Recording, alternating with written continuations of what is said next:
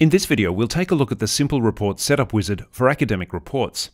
The wizard is created specifically for primary schools or K-12 schools that use the primary style report for their primary classes.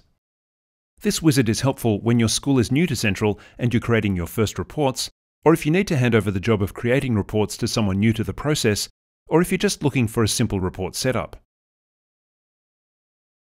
Navigate to Academic Reports and then Academic Reports Setup. In this example, you can see some historical reporting periods already set up. To create a new reporting period using the Simple Report Setup wizard, click Create Reporting Period.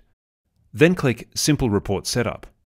The process follows the workflow indicated by these icons. To get started, enter the name of the reporting period you wish to create. Ensure you select the appropriate year, semester, date range, and classes.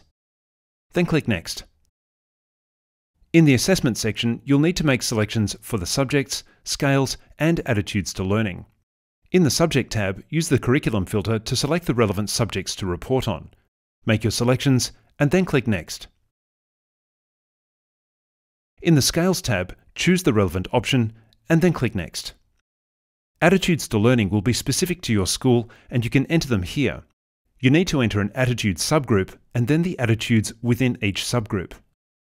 This is an example of what that might look like. The subgroups are shown here, and the attitudes within each subgroup are shown here. I'll replicate this first one in the current example for this video.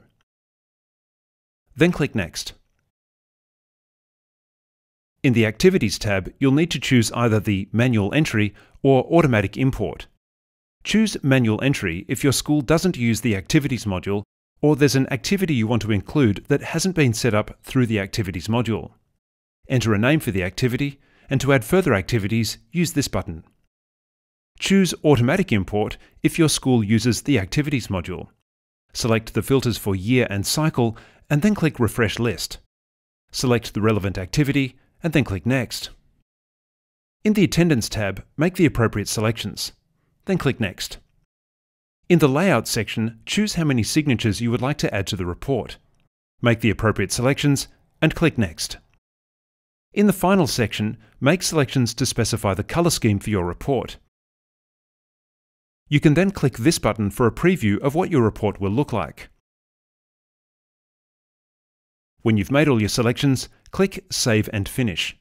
Your reporting period is now created. From here, you can then continue working in your newly created reporting period.